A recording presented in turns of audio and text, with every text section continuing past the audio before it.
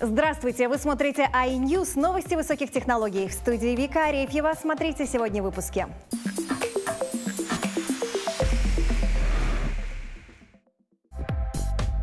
Бесконтактное общество. Как технологии влияют на наше общение. Правительство Сеула перенесет свою работу в метавселенную. Высокотехнологичная мода. Умная одежда помогает установить контакт с собственным телом. Об этом и не только в ближайшие минуты.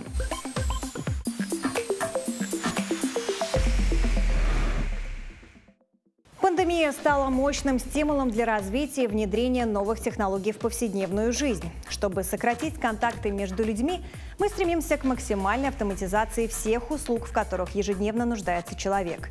Некоторые страны особенно серьезно подошли к этому вопросу. В Корее даже разработали целую программу по созданию бесконтактного общества.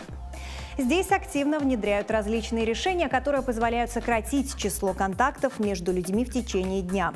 Например, автоматизированные гастрономы без продавцов и даже магазины техники. Роботы-бариста, роботы-официанты, роботы-повара, роботы-уборщики и роботы-охранники. Такой подход в купе с активной вакцинацией населения, судя по цифрам, действительно дает плоды. По последним данным, число заразившихся в стране за все время пандемии не превышает 1% населения. Для сравнения, в России только по официальным данным переболели почти 7% граждан. Как пишет «Гардиан», правительство Кореи вкладывает немалые средства для того, чтобы социальная дистанция между людьми становилась все больше. Однако за ее последствия приходится платить тоже.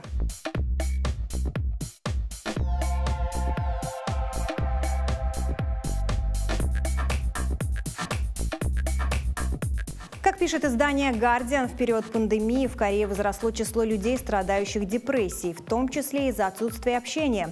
Парадоксально, но для решения этой проблемы вновь предлагают бесконтактное решение. Онлайн-платформу для психологической помощи, на разработку которой потратят более 25 миллионов долларов.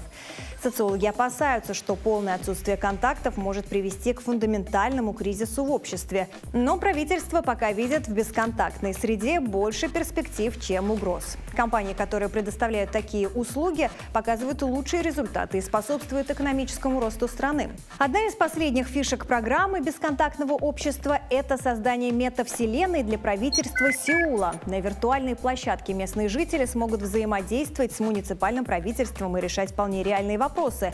Городскую метавселенную создадут в три этапа со следующего года и применят ко всем городским задачам от экономической политики до гражданских жалоб. Виртуальную экосистему для корейского правительства планируют запустить уже в следующем году.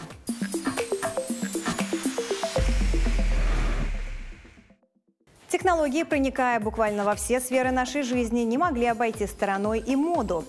Польский дизайнер Ига Велинска представила необычные наряды из будущего. Это боди, которые подстраиваются под ваше настроение. Коллекцию назвали «Эмоциональная одежда».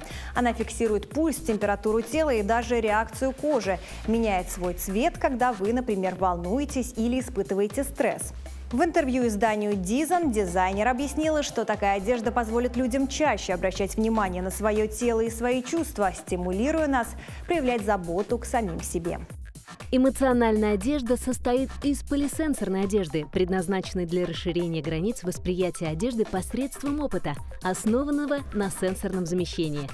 Сенсорная замена – это когда мозг берет информацию от одного чувства, такого как прикосновение, и преобразует его в восприятие другого чувства, например, зрения. Если обычно в течение дня мы не обращаем большого внимания на свое эмоциональное состояние, тем более физические изменения, которые они провоцируют, то, получая визуальный сигнал об изменении в теле через одежду, мы быстрее обратим на них внимание и сможем быстро отреагировать, привести в норму дыхание или сделать перерыв на работе.